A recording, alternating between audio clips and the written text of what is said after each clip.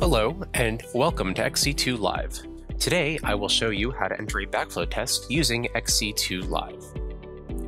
In a web browser, go to xc2live.net, click the Login button, and enter your username and password. Click the Enter Backflow Test Entry button. We use two different forms of criteria to search for backflow records. Here I'm using the first four characters of the serial number along with the address number. Once I have found the assembly I've tested, I click the arrow button to the left of the serial number. I can now enter my test values into these fields. You can use the Tab key on your keyboard or the mouse to move between these entry fields.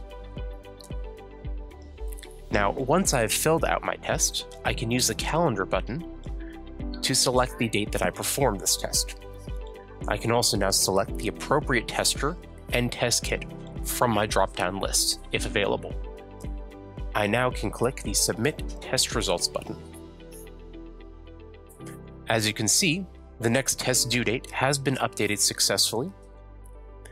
Thank you for using XC2 Live, and check back soon for more content.